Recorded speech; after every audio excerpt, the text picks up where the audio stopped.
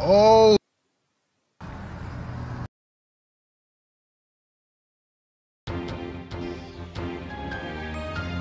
Fights break out at the pumps as $50 gas rationing spreads across America. Biden administration begs people not to panic buy as more than 1,000 gas stations run dry amid Russian hack on Colonial Pipeline. Welcome to the Dum Dum News channel. This channel is dedicated to reviewing and discussing news stories from around the world. Help me trigger the YouTube algorithm by pressing the thumbs up button, subscribing to my channel, leaving a comment, and sharing with someone you think would like this content. Sources will be linked in the description, so you can read the full details yourself. Today we will be covering the ongoing story of the Colonial Pipeline that was hacked recently. The first article from May 9, 2021 states, Fears of gas price surge after DarkSide cyber attack shuts Colonial Pipeline between Texas and New Jersey that carries 45% of East Coast fuel experts call it most significant assault on infrastructure to date in the U.S. Attack on Colonial Pipeline took place Friday, forcing suspension of operations. It is the country's largest refined products pipeline, running from Texas to New Jersey. The attack is described as most successful assault on infrastructure in the U.S.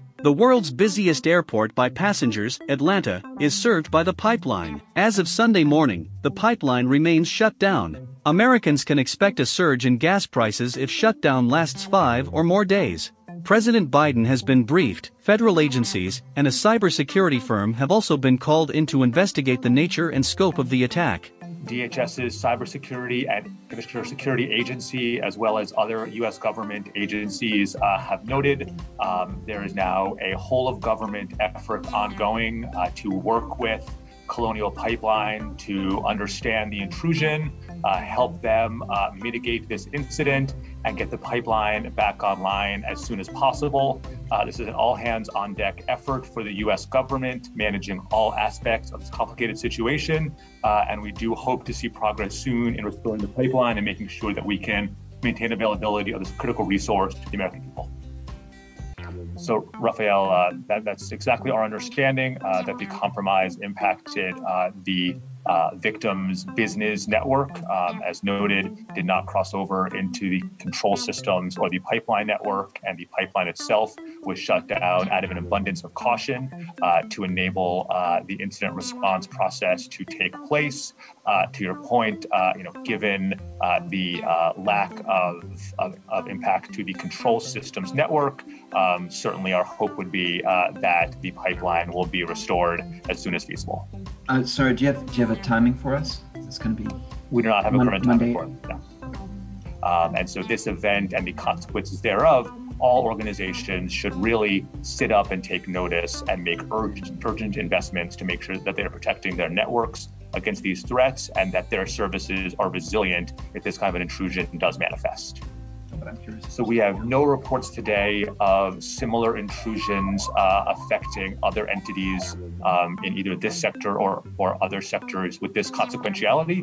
That being said, we do know that ransomware remains an epidemic uh, affecting businesses in this country across all sectors, um, whether hospitals, municipalities, state governments, uh, educational entities. And that's why it's so important here that this time it was a large pipeline company. Tomorrow it could be a different company in a different Inspector.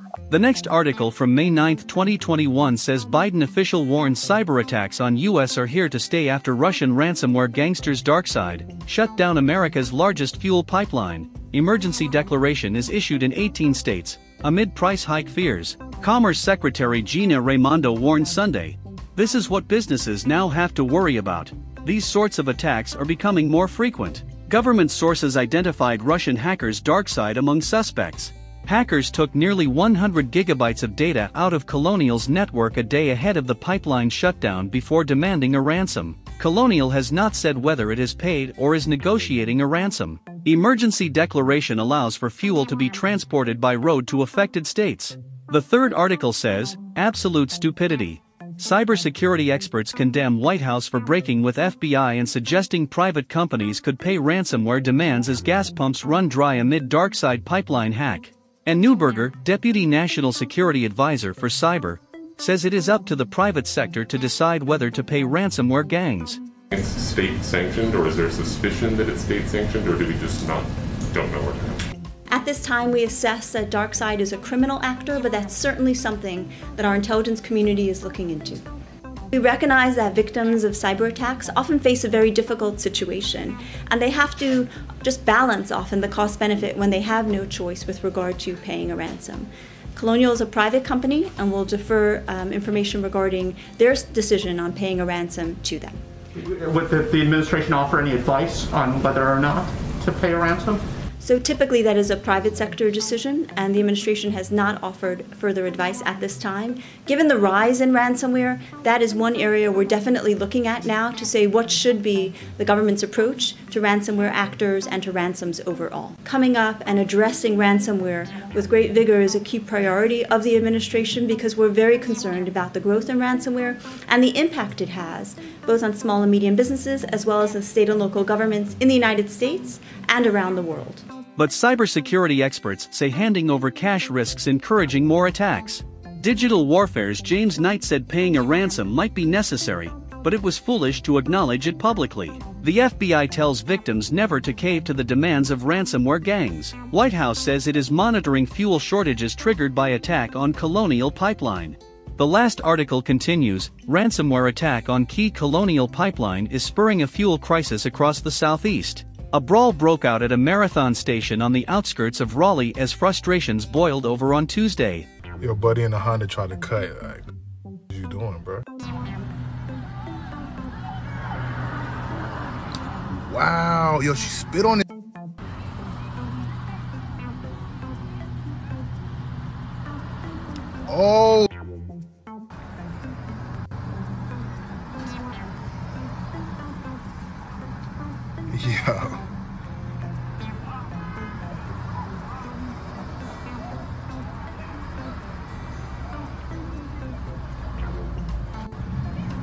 Buddy kicked to the street. In metro Atlanta, nearly 60% of all gas stations are dry, and 24.8% of all stations in North Carolina are dry. Parker's gas chain in Georgia and South Carolina is limiting customers to $50 worth of gas each. The Biden administration is urging motorists not to deepen the crisis with unnecessary panic buying. The national average price of gas now exceeds $3 for the first time since 2014. Colonial, which is based in Atlanta, Georgia, has not yet said whether it paid a ransom with the hackers. Russian President Vladimir Putin on Tuesday denied any involvement with the attack. Do you think Russia is involved at all explicitly with that attack? Conver, I'm going to be meeting with President Putin, and uh, so far there is no evidence based on from our intelligence people that Russia is involved.